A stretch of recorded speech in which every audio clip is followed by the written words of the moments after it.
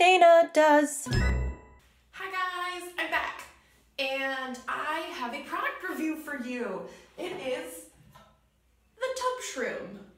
Ta-da! Oh, it's got some hair on it.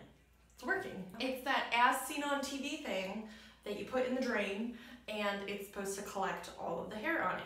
And we've been using it now for um, about a week and three girls use the shower and we all have very long hair and we all shed and we go through bottles of Drano like bottles of shampoo.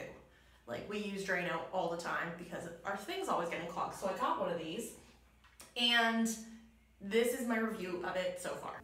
The good thing about it is like it does fit into the drain nicely, except when there's water pressure on it, it goes like that and that stops the water from going down and then the hair can't go into it and it just kind of blocks up the sink.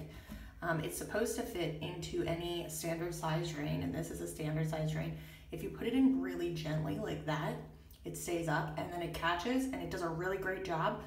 But as soon as water hits it, it goes down and that's not really great. So, I mean, if there was a way to keep it like this, our drain doesn't have like a stopper thing inside of it, so we can't put anything there. And it's like, it's got the center thing.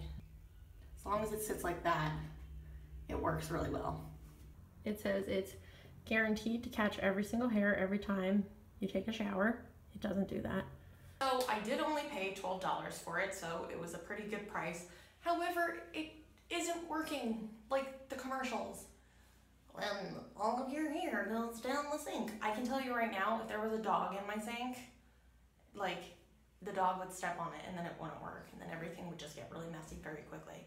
So I guess if you have like the stopper thing on the bottom of your drain, it's great. Um, if you don't have the stopper thing on the bottom of your drain, it's gonna sink into the tub like that. It does work really well when it doesn't fall down. So there's that. That's a that's a great thing. Um, but ours still goes down and the hair still gets past it. And so we're still going through bottles of Drano. Drano for days.